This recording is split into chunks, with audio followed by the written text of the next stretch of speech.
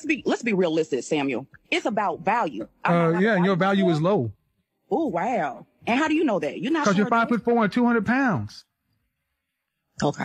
and 37 years old with two kids. That's how I know. In Kentucky. Okay. You that's your opinion. It's not my opinion. You never seen my body before, so you. I don't have to see your body. I know you're five foot four and almost 200 pounds with two kids in Kentucky. And I see your picture. You just say. And I'm listening to how you talk.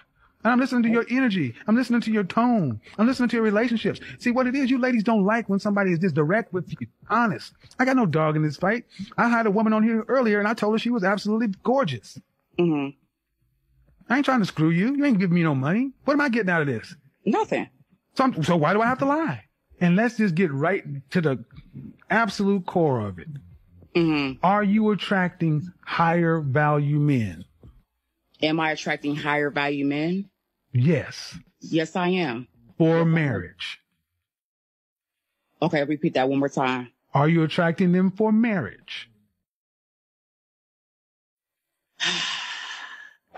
No.